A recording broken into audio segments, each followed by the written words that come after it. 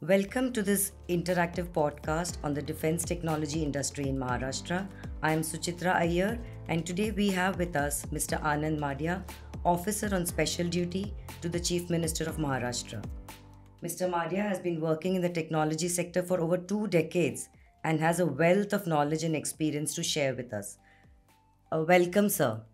Namaste. Thank you for having me, Suchitra ji. So, uh, Mr. Madia, can you tell us a little bit about your background and how you ended up in your current role? Sure. I have over two decades of experience in the technology sector, and I have always been passionate about using my knowledge and expertise to contribute for the betterment of the society. I strongly believe that Maharashtra has tremendous potential for growth and becoming a trillion dollar economy.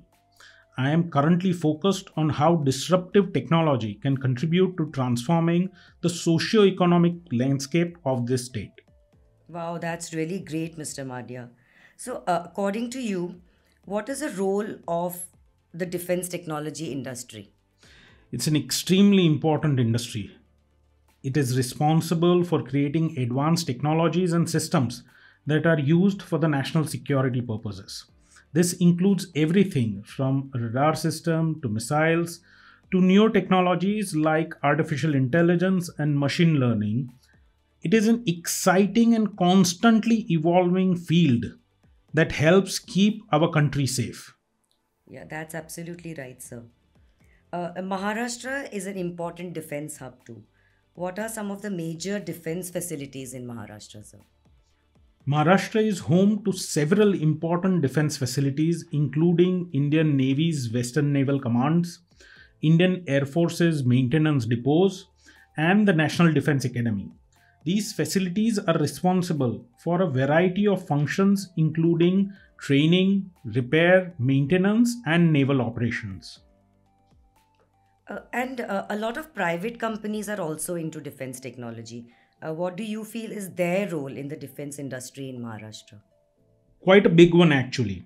There are several private companies in the state that are involved in production of defense related products, including L&T and the Godrej Group. These companies have partnerships with defense public sector units and foreign defense companies to manufacture and supply a variety of defense related products.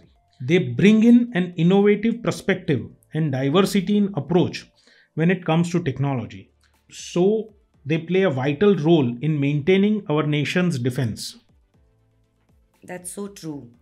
Uh, now, let's talk about the defense technology industry in Maharashtra, how it is contributing to the local economy. The latest figures indicate a thriving and successful sector in this region. According to the government data, the defense industry in the state of Maharashtra provides employment directly, indirectly for about 50,000 people. The defense public sector units in the state, including Bharat Electronics Limited, Bharat Dynamics Limited, have also made significant contributions to the state economy. In the fiscal year of 2021, BEL and BDL generated a turnover of nearly 10,000 crore rupees which is approximately 1.3 billion US dollars, making them among the top defense public sector units in the country. Wow, that's really uh, promising. Uh, uh, Mr. Madia, what are some potential areas of growth for the defense technology industry in Maharashtra?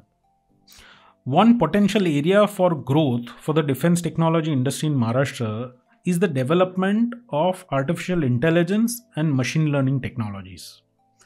These technologies have the potential to transform the way military operates from enabling the deployment of autonomous systems and drones to improving intelligence gathering and analysis.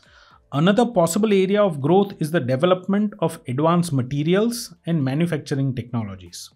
This could lead to production of lighter, stronger and more durable defense products. Finally, the defense technology industry in Maharashtra may also see growth in export market as the state has a strong reputation for producing high quality defense products. Thank you Mr. Madia for joining us. The chat on defense tech was really insightful.